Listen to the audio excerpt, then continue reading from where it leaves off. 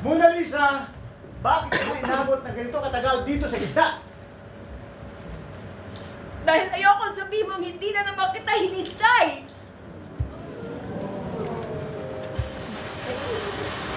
Nangaaway ako ng mga tao. Nagkugulo ako sa pila. Tinatorture ko sa sakit ng ulo yung lintik na tagabantay. At marami pa akong kawang kinakuha-kalokohan ginawa para ma-delay. Sabi mo, hintayin kita eh.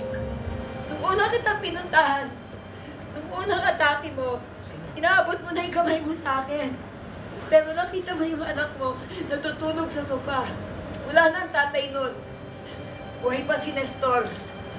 Till death do us part lang naman yung usapan namin sa kasal eh.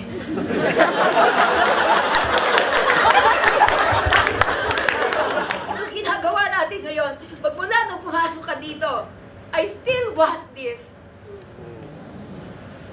Ayoko bang maging peaceful agad. Ang gusto ko lang naman eh, ma-experience ito ulit. Kahit sandali lang, bago ako umakyat. Unang atake ko. Nangyari yun nang babalitaan kung patay ka na. Alam mo ba kung bakit sigurado akong mahal kita?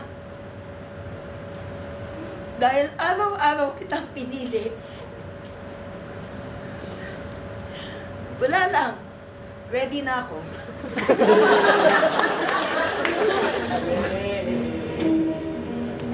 May I have this dance?